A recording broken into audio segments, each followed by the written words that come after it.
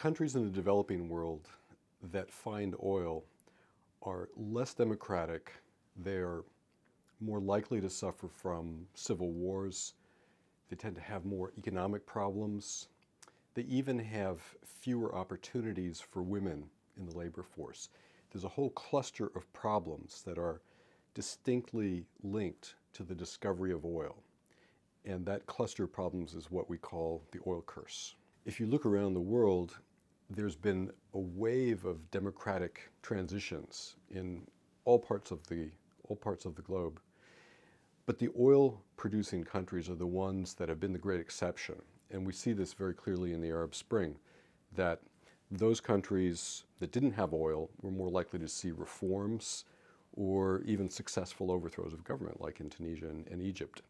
The more oil that governments had, the better they were able to put down the uprisings and retain tight control of, uh, of society. The Syrian case is very, very, uh, it's complex and it's difficult.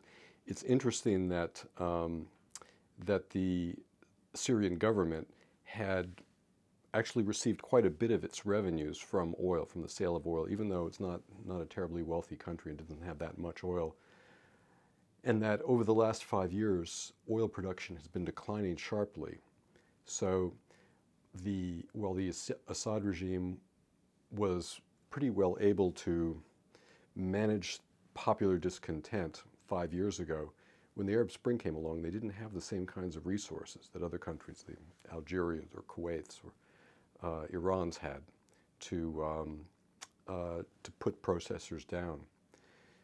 In the long run, um, the countries that depend not on natural resource extraction, but on the education of their population, on uh, improved living conditions, on entrepreneurial skills, those are the ones that seem to prosper in the long run in the last 10 years, there has been much greater attention paid to, uh, to the importance of transparency and good governance in these countries.